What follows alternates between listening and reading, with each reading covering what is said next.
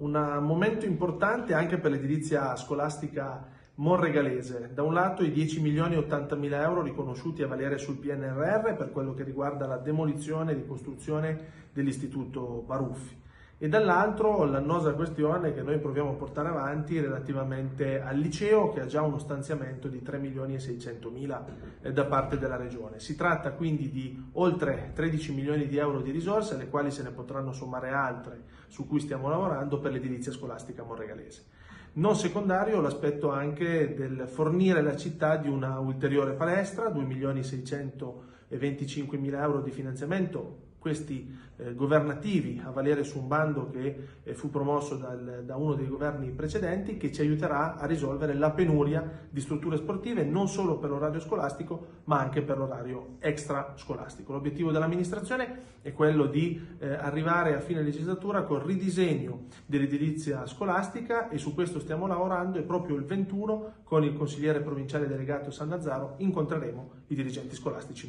monregalesi. A che punto sono i lavori della palestra? La palestra è pressoché finita, abbiamo subito due rallentamenti più grandi degli altri. Uno è quello dell'approvvigionamento del materiale, ormai è tutto arrivato, o è in cantiere o è presso la sede della ditta incaricata dei lavori, e l'altro quello relativo alla fornitura del gas, ma grazie al rapporto consolidato e alla bravura eh, dei tecnici territoriali di Italgas siamo finalmente riusciti a risolverlo. Proprio oggi sono iniziate le operazioni che prevedono il montaggio di quella che è una sorta di schermatura eh, della, della, struttura, eh, della, della struttura della palestra stessa e confidiamo entro il mese di marzo di metterla in funzione e di ospitare finalmente alunne e alunni.